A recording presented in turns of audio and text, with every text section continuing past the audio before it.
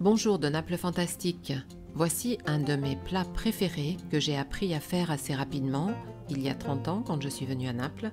Il s'agit degli spaghetti con le vongole, les spaghettis aux fruits de mer. Juste après le jingle, je vous explique comment les réaliser et ainsi faire plaisir autour de vous.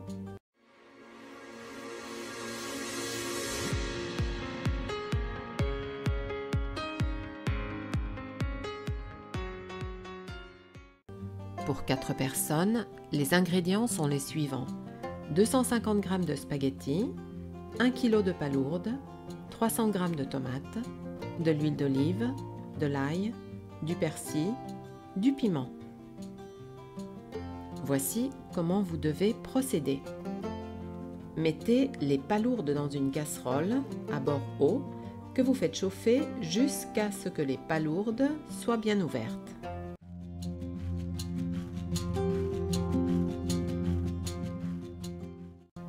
Ôtez la majeure partie des coquilles et laissez de côté les palourdes dans un récipient. Gardez aussi quelques palourdes avec la coquille pour la touche finale. À part, filtrez l'eau qui est restée dans la casserole. Dans une grande poêle en fonte ou alors dans une autre casserole, faites blondir l'ail dans une bonne couche d'huile d'olive.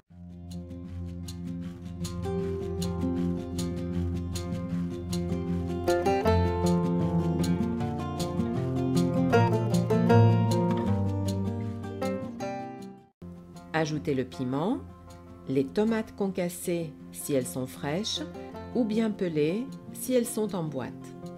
Refermez le couvercle et laissez cuire 10 minutes à feu doux. Ajoutez toute l'eau filtrée des palourdes, puis laissez réduire à feu doux.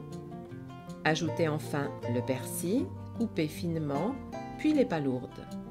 Éteignez.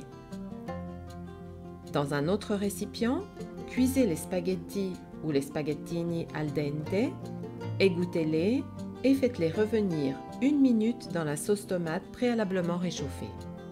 Servez et savourez ce plat délicieux. J'ai parfois essayé la même version en rajoutant des praires, des fias ainsi que des gambas. Le résultat est là. En ce qui concerne les pâtes, on peut aussi réaliser cette recette avec des passatelli ou bien avec des cialatielli. Vous pouvez aussi réaliser cette recette avec plus de tomates ou alors in bianco, c'est-à-dire la même recette mais sans mettre les tomates. Si cette recette vous a plu, dites-le moi dans les commentaires.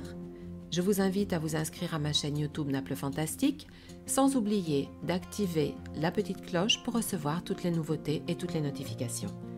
Parlez-en autour de vous avec vos amis, cuisinez, savourez et partagez évidemment sans modération. Merci et à la prochaine fois. Grazie et à la prossima volta.